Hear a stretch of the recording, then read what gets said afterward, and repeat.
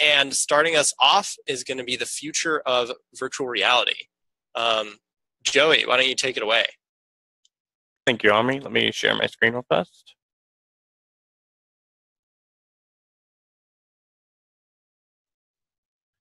Hello, everyone. My name is uh, Joey Darbyshire, and today I want to discuss with you uh, problems and things that reflect fun when you're developing in virtual reality versus other um, normal web applications. So, first things we're going to be talking about will be unique problems to virtual reality itself, as well as um, concepts to consider in virtual reality that you wouldn't normally think about when you're developing web applications, solutions to both of those issues, as well as anything I'd possibly go on a tangent about while we're discussing this. So, I have a lot to discuss and not a lot of time to talk about, so I'm going to jump right into it. The first thing I want to talk about is the distinct lack of peripherals, or as I like to put it, where are my buttons? Um, if you don't know who this is, it's a comedian by the name of Brent Morin. He's got a Netflix special. I think he's hilarious. It's one of my favorite jokes from him. Uh, go watch him if you haven't seen it. So, what do I mean by where are my buttons? So, let's look at like modern uh, VR headsets. So, we have the Daydream, right? And the Daydream controller has five buttons on it total. Two of those are specifically for volume, whereas the other three are probably the only three you'll be able to use for your application. You have things like the HTC Vive, the Oculus Rift, which have about 15 to 18 buttons and a joystick. Uh, the PlayStation VR uses the PS4 controller or the PS Move controller, which has about 18 to 2 buttons. Um, that's a bit, but that's not a lot when you think about things like even just your TV remote, which just controls your TV, has like 50 plus buttons on it sometimes, or like a keyboard and mouse has about 900 million buttons on it um, in any given situation. To uh, to put this in perspective, this is a game I play pretty regularly called Final Fantasy XIV. Um, every one of these squares down here at the bottom uh, on here on the right represents an action or an ability that I can do in the game. And each one of them has its own unique button combination to it. So my mouse has about 17 buttons on it. I have three keyboard modifiers for it. I have WASD. I have various other keyboard inputs for menu controls, all that. Altogether, I have about 80 different button combinations just to play one game how am I possibly supposed to interact with a virtual reality game that only has three buttons like a Daydream controller does? So one of the first solutions you could really think about doing is displaying an on key on-screen keyboard, and this is something that consoles have done for a really long time. Um, they'll just display the keyboard, you select the letters and type it out. It's very slow, but it's very effective. Things like searching or just inputting short commands or whatever. Um, but it's not ideal if you wanted to write a program like Slack in virtual reality. How am I supposed to type out long messages to my teammates if I have to select each letter individually? That could take forever. So another way to go about it would be triggers, right? Uh, the game I mentioned earlier, Final Fantasy XIV, has a version on the PlayStation 4, which I said has about 18 buttons on the controller. So the way they do it is they have four buttons on the controller, which are dictated as triggers. And whenever you're pressing any of those triggers, it changes what the other buttons of the controller does. It allows you to get a wider variety of button combinations in order to get, gain different controls over your application. Um, that's great and all, but you have to remember virtual reality adds something new. It adds motion to the mix. So you can start using things like your arm raising, your head moving from side to side. All these things um, add to a new gesture system that will allow you to interact with your application that we haven't seen before in a web our web development. Um, you look over here, you see what is would be the two-dimensional gesture system that most people already use on their smartphones, right? So imagine taking that to the third dimension. You could start doing more like arm reaching and stuff like that. You could implement things like sign language or something like A, B, C, like just simple like that would really make it easier to type in a virtual reality environment that we just couldn't do in um, web applications normally. So that being said, I'm going to move on to the next thing, which is um, when you're developing VR, you need to stop thinking in Windows and start thinking in rooms. So Windows are this big convention we've had for the past 20 or 30 years where everything has its own box, everything stacks on top of itself. It works very nicely for computers, for smartphones, for everything that we use in our daily lives now because they all exist on two dimensional surfaces. In virtual reality, you have a third dimension, and users, without even ex- knowing it, are going to expect you to use that third dimension. They're going to require you to reach out and make that third dimension useful to them, or else there's no reason for them to even be in your VR application. Because if they can just view it on their computer, why would they view it in VR? So I'm going to give you two examples of applications that I think one does it well and one does it poorly. Uh, so the first one here is the YouTube app for the Daydream. If you've never seen this application, the way it works is you're in a large black domed room. Um, floating in front of you is a floating screen or a window where you access your searches, where you access your controls for your video. If you're watching a 2D video, it's just displayed there as a floating window. If you look around here on the sides over here while you're looking at this, this is all just empty space. There's nothing there.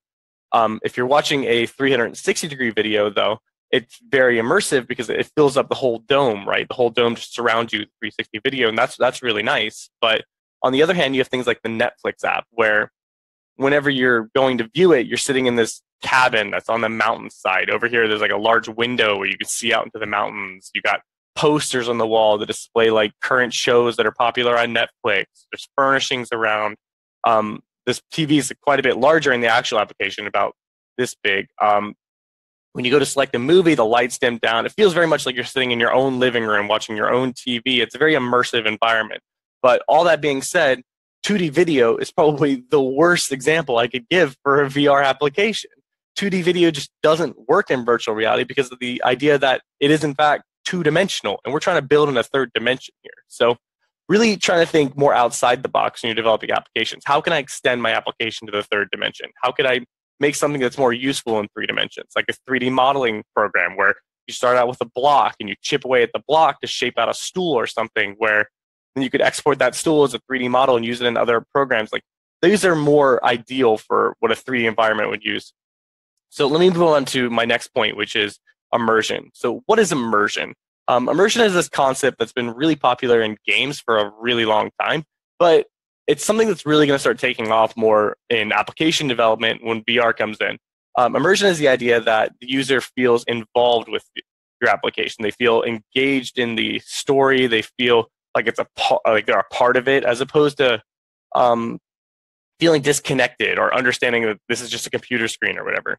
Um, so one example I think of really good immersion is um, Fallout, the Fallout universe, and the Pip-Boy. And if you've never played Fallout, it's this game series that's based in a post-nuclear war warland.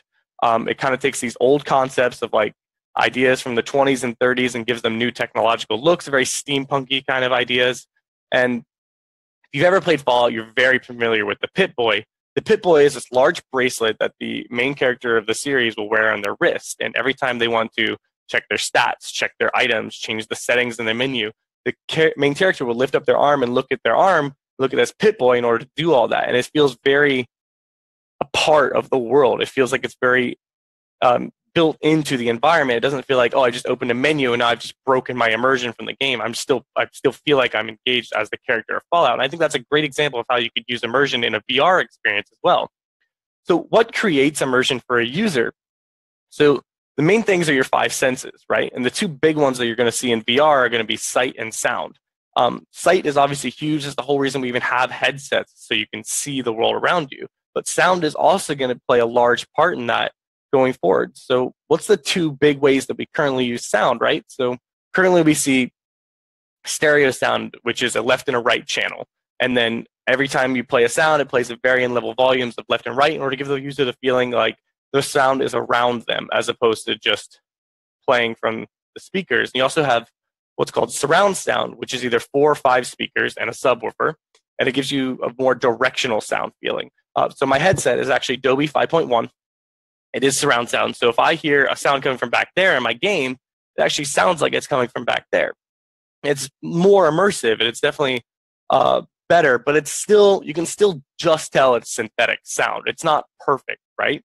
So when it comes to VR, um, this concept that's been around for a long time called binaural audio is really starting to take off because of how immersive it can actually be. If you've never heard of binaural audio. It's recorded with this funny looking mic that looks like an ear for the reasoning that the ear is already really good at shaping sound in a way that the brain can understand distance and direction. So why don't we record sound in the same way?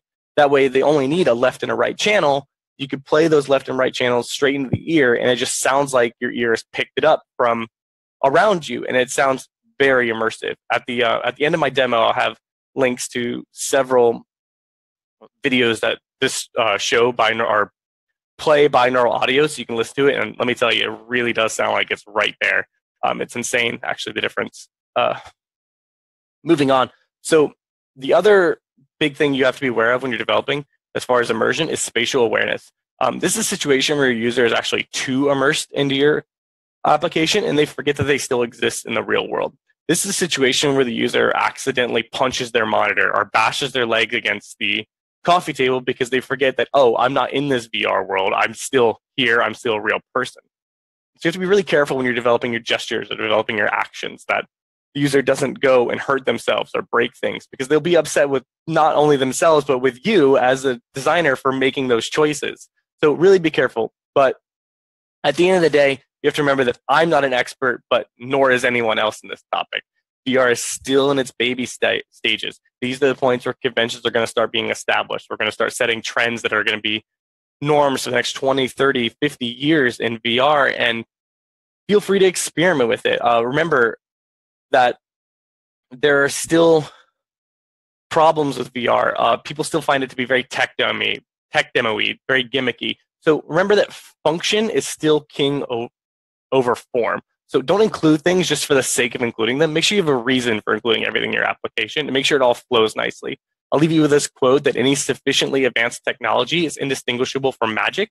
Um, this is the reality that virtual reality is this new universe that you get to create. You get to set all the rules for it. You get to set what it looks like, how the user interacts with it, everything. So have some fun with it. Be creative with it. It's very, very powerful what we can do with virtual reality if we do it right. Uh, here's some links to cool things I found while I was making this, as well as my capstone project, which was a VR project that I did.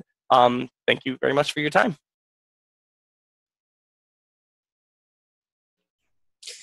Thanks a lot, Joey. Um, yeah, anybody listening out there, if um, if you ever want to nerd out about virtual reality, Joey is absolutely the person to reach out to. um, um, he has a lot of um, amazing ideas, and it's it's just great to have discussions with him about this stuff. And you can also nerd out about Ready Player One if you've if you've read that out there.